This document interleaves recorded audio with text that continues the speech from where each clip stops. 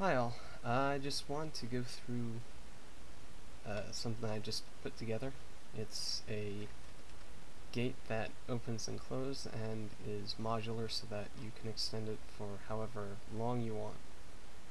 Um, so you can use it for gates on you know, whatever project you have. Uh, so here's how it works is right now it's closed obviously.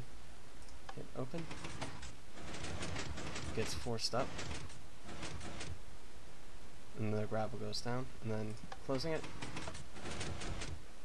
it goes down like that. So let's go through the operations of it. Um, start from the bottom because that's the, the harder part. Um, so the way it works is uh, opening it it does exactly what the top does. It just extends pistons in sequence um, so it goes uh, from bottom up. So it goes this one, that one, that one, and then that one. All the way up. And the hard part is getting it to retract. Um, that's what this mess over here is. So the first thing that, uh, here I'll extend it upwards. Um, let me just break this so now it's all the way up. Uh, what happens is, is that this basically just limits the pulse. You know, I was having trouble um, keeping things consistent. So what happens is, is that uh, when you press the button, this pulls this down, then this pulls uh, hits this one twice. So it goes, pulls that down, then this gets pulled down by this one, then this one pulls down that one. Then it goes to this one, which does uh, goes twice. Uh, this one gets pulled down, and then it pulls down this one.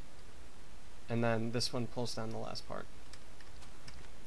So in order to do that, uh, you know, you have the simple wire, this is the easiest part. Then here you have these two. Uh, so it, this does the first one, then this does the second pulse uh, to this guy right here.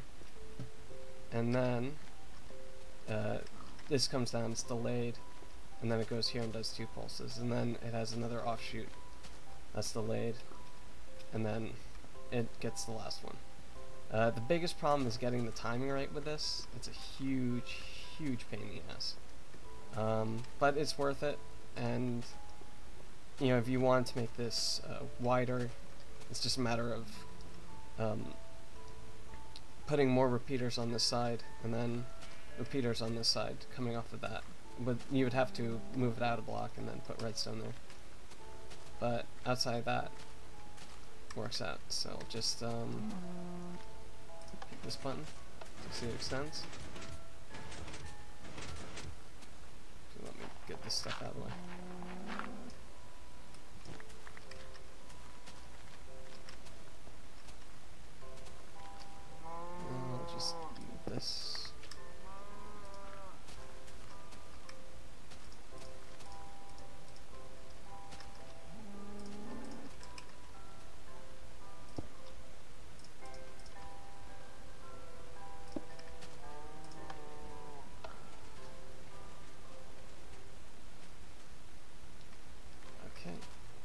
So, and then as you saw how it extended um, in the first part of it, it does the exact same thing up there, and that's what causes it to close down. Uh, what's um, what's really cool is that it will uh, basically shut itself closed. Um, you know, there, there, you don't have to retract the pistons on the uh, top half because it gets forced up by the bottom half, which simplifies things a bit. Because you know you don't have to to deal with that mess because it's a huge, huge pain in getting the timing right. So it, it holds that state and then you go down and then it gets forced back up.